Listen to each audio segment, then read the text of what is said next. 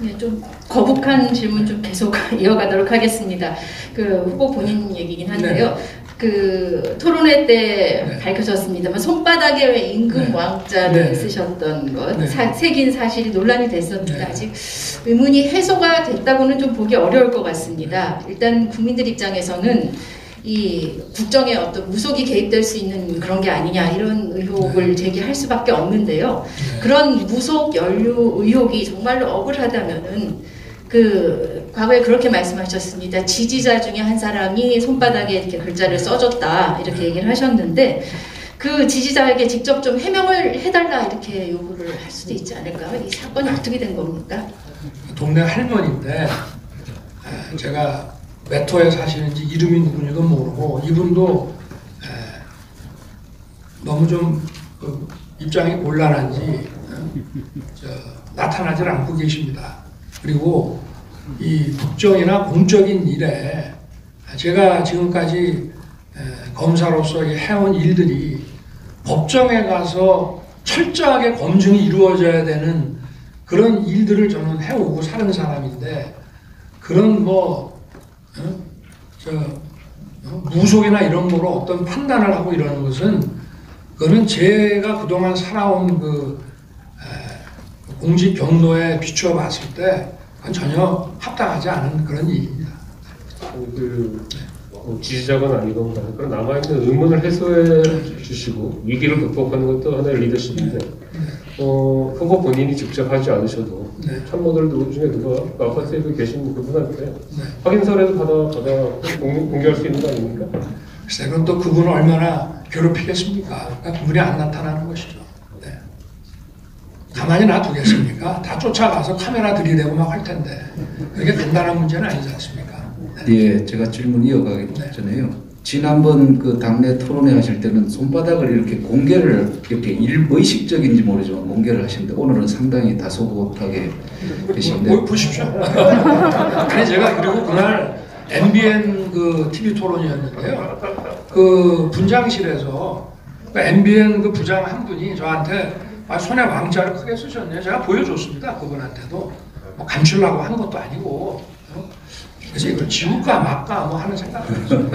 저는 대수롭지 않게 생각했기 때문에 그래서 저는 아 이게 MBN 관계자가 이거를 보셨기 때문에 왜냐하면 이게 잠깐 지나가고 마는 거라서 그걸 뭐 그게 소문이 났나 그래서 이게 아마 이게 제대로 보도가 된 건가라고 생각할 정도로 제가 하여튼 MBN 그 부장인지 국장인지 한 분이 그때 정확히 기억 안 나는데 저 원희룡 지사가 분장하고 있고 저는 소파에 앉아 있는데 제가 보여드렸습니다.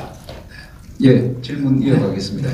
그 국정농단 특검 시절에 어, 박근혜 대통령까지 수사 대상으로 확대할지를 놓고 어, 후보자께서 천공이라는 사람에게 자문했다고 하는데 사실인지 하고요.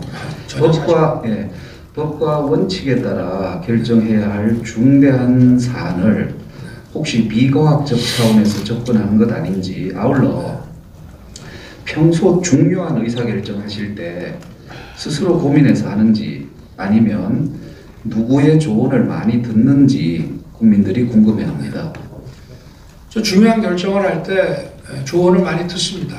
같이 일하는 사람들과 어, 그리고 어, 또뭐 검찰 사건 처리면은 어, 이미 이제 저 퇴직을 하고 변호사를 안 하고 계시는 아주 완전히 리타이어 하신 분들이나 어, 저 같이 일하고 있는 동료나 후배들하고 의논을 많이 하고요. 에, 저희가 해온 일들은 같이 일한 사람들과 의논을 해서 할 일이지 에, 뭐 그, 누구한테 제3자에게는 이게 여러 가지 보안 사항도 있고 해서 그건 뭐 의논할 수도 없는 문제고 그리고 박근혜 대통령 처리 문제는 기본적으로 에, 특검이 에, 박근혜 대통령이 탄핵되시기 전에 특검의 수사 권한은 이미 종료가 됐기 때문에 아예 원천적으로 특검의 수사 대상이 아니었습니다. 그래서 거기에 대해서는 뭐 고민하고 논할 그 사안 자체가 아니었다는 점을 말씀드리겠습니다. 네.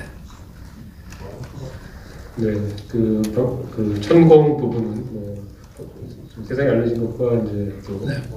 일방적인 주장일 수도 있고 그 후보님 대답 사이에서 저희가 판단을 해보고 네. 있습니다. 그리고 아까 여러 사람의 의견을 듣는다는 말씀 그것이 이제 앞으로 국정을 이- 만약 어떤 당선이 되신다면 국정을 이끌어갈 리더십의 주요한 척도가 될 것 같은데 이 리더십 관련해서 저희가 좀몇 가지 궁금한 게 있습니다. 네. 네, 제가 질문 이어가겠습니다.